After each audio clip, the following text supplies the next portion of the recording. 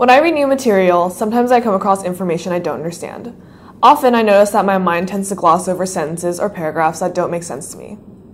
As I notice that happening, I make a note of that, and I use the following tips to help me stay on track. I use a highlighter or draw a symbol next to the phrase that I'd like to return to later. If I'm reading on an electronic device, I'll note down the page number, paragraph, and a couple key phrases. When I'm finished reading, I go back to the material that I don't understand and come up with some questions to ask or paths to explore. I might ask my TA or professor to resolve my questions or take to the internet. Other sources can often fill in gaps of information and reinforce what I've already learned.